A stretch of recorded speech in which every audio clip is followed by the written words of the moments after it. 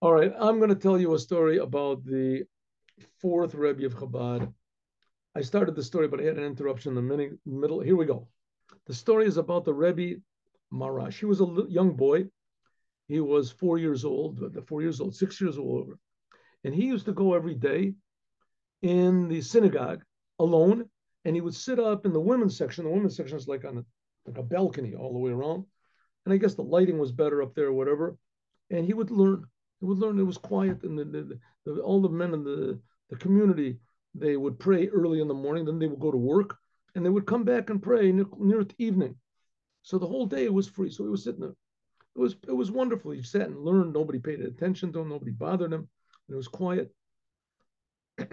One day, it, it, just happened to be that he was sitting and thinking about something, and he heard the door open, the big door of the synagogue, and he looked down from where he was in the women's section. He saw there was this older lady. Maybe she was, you know, in her late fifties or sixties, whatever. So she came in, and she went to the closed the door behind her, went to the uh, Aron HaKodesh, you know, to the ark in the front of the synagogue, and she started to cry and wail and scream. She needs money. She has to have money. She hasn't got any money. She hasn't got enough money for food. and she's got her grandchildren depend on her and her children, and she wants to marry off her daughter, and she's crying and yelling and screaming. So she's disturbing him. He can't learn, but he figures, okay, you know, have a little bit of patience. So five minutes goes on, seven minutes, ten minutes, and he, the, the, the, the young boy, Shmuel, is thinking, when is this going to end? So all of a sudden he gets an idea. And uh, he stands behind the sort of pillar that's up in the women's section.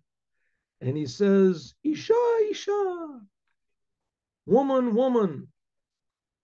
And she said, What is it? Who is it? This, this is the angel of Malach. You wanted money. This is the angel of money. The angel of or something. So she said, What's an angel? Wow, thank you, God. You sent me an angel. Yes, Yes, yes, I, I, I need money desperately. So he said, Take a glass of water, make a blessing, take a little sip, and that water will heal people. And if it works, then you can ask for money.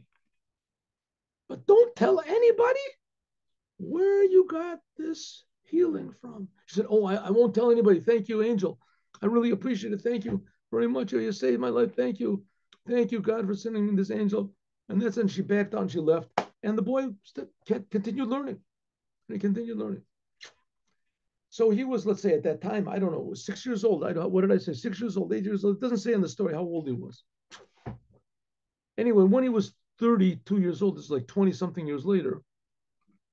So his father, the Tzemach Tzedek Rebbe, he passed away and he took over. Rebbe Shmuel took over. And he was a very, very delicate person. In fact, he passed away younger than any of the Rebbe's of Chabad. He passed away at the end, age of 48. Anyway, so he's the Rebbe.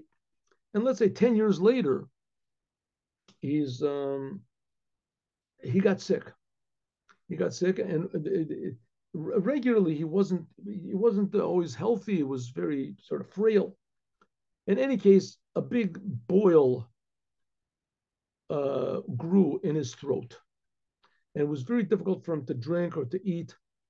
It was very painful, and the doctors were afraid to lacerate this boil because they were afraid maybe they might cut a vein or something, maybe wouldn't heal. They didn't know what to do. So they tried all sorts of ointments and things. It was very difficult to get to because it was in his throat. So he was really suffering. So his wife, the wife of Rebbe Shmuel, she says to him one day, uh, you know, you've tried all these doctors.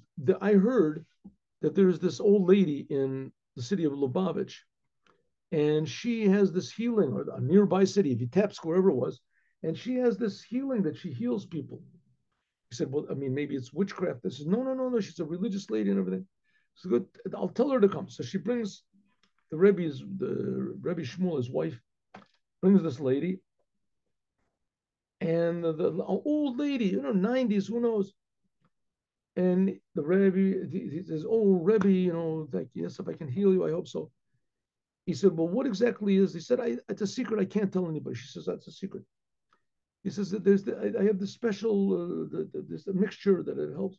So where, where, where, did you get it from? He said, I can't tell. It's a, it's a secret. I can't tell. So the Rebbe said, Listen, I'm a Rebbe. and people tell me secrets all the time. And you can tell me the secret. You know, I won't tell anyone. I said, no, I promised I wouldn't. Uh. So, okay, if you don't tell me, then I can't, I'm not going to take it. So she said, okay, you promise you're not going to tell anybody? She says, I promise. She said, well, and she tells him the whole story. You know, 30 years ago or whatever, however it was, it was 20 years ago, I went into the synagogue and I prayed for money, and an angel spoke to me from heaven and told me to take water and make a blessing. And suddenly the Rebbe remembered that that was him. That was him. He was the one. That was like the 20 years ago or whatever is 20, something 30 years ago. And this lady back then, she was maybe in her late 50s or 60, and now she's 90 years old. And this is this is the lady. This this thing she's going to give. That's the thing he told her to do when he was a child. He wasn't really serious. As soon as he thought about it, as he started to laugh, he started to laugh the, the irony of the whole thing. And now he's coming back and he started to laugh. And he really started to laugh. You know, he was laughing. His wife even came in. She was worried, what's going on? And he laughed. And the laughter that he did, it broke the boil that was there. And I guess he spit out the whatever The doctors came in and they put whatever it is, and he was healed. So it ended up that the advice that he gave her when he was only a boy of six years, six years old, it ended up that the advice it worked. So we could see that the Rebbe had the power. This is the fourth Rebbe of Chabad. He had the power of healing, but he did it through, so to speak, natural ways, even back then. And it comes to show us that if we do something good and we intend for good, is we can never tell what type of amazingly good reaction and results there will be. Have a good day with Mashiach now.